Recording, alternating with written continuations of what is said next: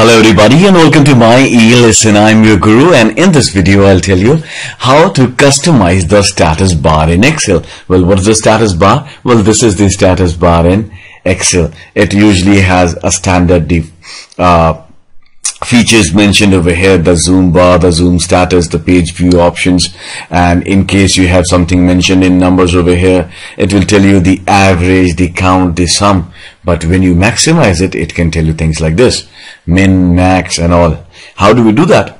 Well this is simply you simply right click on the status bar and all these functions are already pre-selected over here.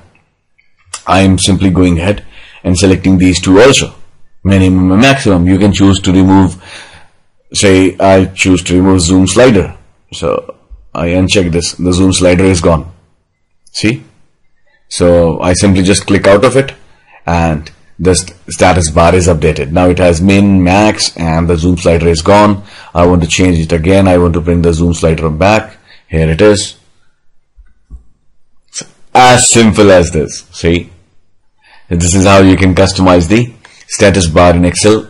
I hope you like this video and you can find multiple of such videos on myelesson.org. You can learn as many things in Excel as possible over there. So hope you uh, hope to see you on them on my website myelesson.org. Until then, have a wonderful day ahead. Happy learning.